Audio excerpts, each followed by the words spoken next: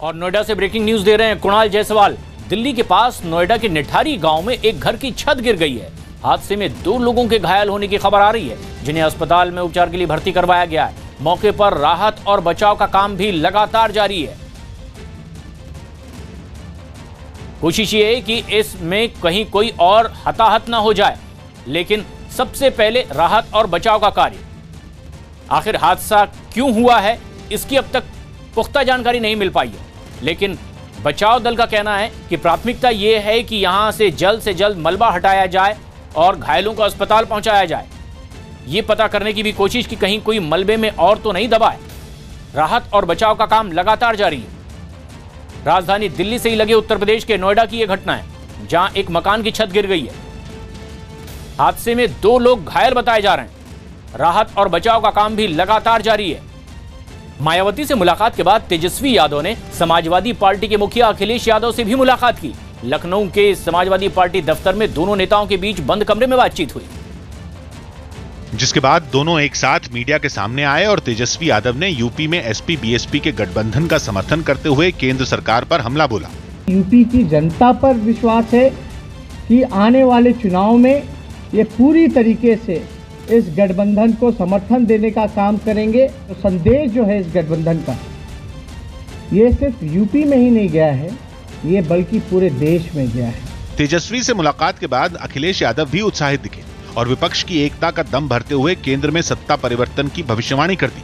हमें उम्मीद है कि जिस समय मतदान होगा देश के किसान गरीब नौजवान व्यापारी इस सरकार को उखाड़ फेंकने का काम करेंगे।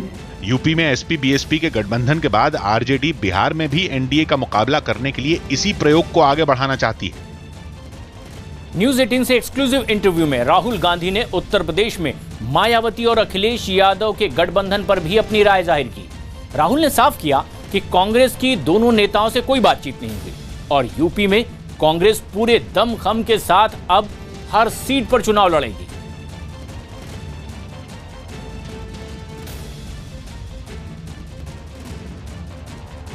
महागठबंधन का जो मामला था क्या अखिलेश यादव से मैंने देखा आपकी इतनी अच्छी बातचीत थी क्या इस महागठबंधन से पहले उन्होंने बात की आपसे? थोड़ा निराशा है या नहीं, एकदम वो ना कांग्रेस पार्टी से ना हमसे ना हमारे लोगों से बात की। मगर देखिए मैंने कल बोला राजनीतिक डिसीज़न है। उन्होंने अपना राजनीतिक डिसीज़न लिया।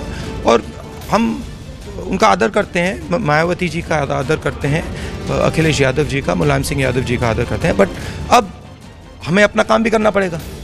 हमें कांग्रेस पार्टी उत्तर प्रदेश में कांग्रेस पार्टी को चुनाव लड़ना पड़ेगा और दम से लड़ना पड़ेगा। हम पीछे हट के नहीं लड़ेंगे। हम पूरी फोर्स के साथ, पूरे दम के साथ हर सीट में कांग्रेस पार्टी लड़ेगी।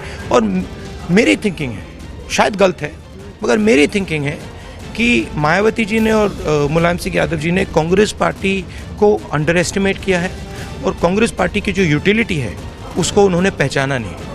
अब देखते हैं क्या होता है। अपनी अदाकारी के ज़रिए लोगों के दिल में अपनी जगह बनाने वाले कई ऐसे बड़े फिल्मी सितारे हैं जो भारत में अपना वोट नहीं डाल सकते। न्यूज़ एटीन डॉट कॉम की रिपोर्ट के मुताबिक, अभिनेता अक्षय कुमार के पास कनाडा की नागरिकता है और भारत का नागरिक न होने की वजह से वो यहाँ वोट नहीं डाल सकते। वहीं आलिया भट्ट के पास अपनी माँ सोनी राजदान की वजह से ब्रिटिश नागरिकता है और उनके पास भी भारत में वोट डालने का हक नहीं है। इसी तरह से दीपिका पादुकोण भी भारतीय नागरिक नहीं है, बल्कि उनके पास डेनमार्क की नागरिकता है, जबकि कटरीना कैफ के पास हांगकांग की नागरिकता है और नियम के मुताबिक वो भी भारत में अपने वोट का इस्तेमाल नहीं कर सकेंगी। भारत में दोहरी नागरिकता का कानून नहीं है। और यही वजह है कि दूसरे देश की नागरिकता लेने वाले व्यक्ति की भारतीय नागरिकता अपने आप खत्म मानी जाती है और वो भारत का नागरिक नहीं रहता। सीमा पर पाकिस्तान की कायराना हरकत का भारत ने भी मुंहतोड़ जवाब दिया है। जम्मू कश्मीर के पुंछ में पाकिस्तान की तरफ़ से हुई फायरिंग का भारतीय सेना ने मुंहतोड़ जवाब दिया। राजस्थान सरकार ने आवारा गायों को पालने वाले लोगों को गणतंत्र दिवस और स्वतंत्रता दिवस पर सम्मानित करने का ऐलान किया। बॉम्बे हाईकोर्ट ने मराठा समुदाय को आरक्षण देने के मामले में दाखिल याचिका पर महाराष्ट्र सरकार को 18 जनवरी तक हलफनामा दाखिल करने का निर्देश दिया। मध्य प्रदेश के मुख्यमंत्री कमलनाथ ने साफ़ कर दिया कि अभी कांग्रेस प्रदेश अध्यक्ष को बदलने पर विचार नहीं कर रही है। मेरे पास भी समय कम है। तो अगर आवश्यकता होगी तो पर अभी इस पर कोई विचार नहीं किया जा रहा जम्मू कश्मीर के बांदीपुरा में सुरक्षा बल ने हथियार के साथ हिजब के एक आतंकी को गिरफ़्तार कर लिया। महाराष्ट्र के ठाणे में एक बस डिपो के पास चार ऑटो में आग लग गई। भारतीय क्रिकेट टीम के पूर्व चयनकर्ता एम एस के प्रसाद ने ऋषभ पंत की तारीफ़ करते हुए उम्मीद जताई कि अलग अलग फॉर्मेट में बिना परेशानी के ढलने की काबिलियत की वजह से वो 2019 वर्ल्ड कप की टीम का हिस्सा हो सकते हैं।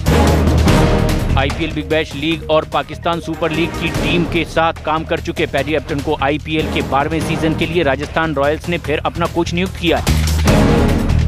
ऑस्ट्रेलिया के खिलाफ पहले वनडे मैच में हार के बाद भारतीय क्रिकेटर अंबाती रायडू के संदिग्ध गेंदबाजी एक्शन की शिकायत से भारतीय टीम की मुश्किलें बढ़ सकती है।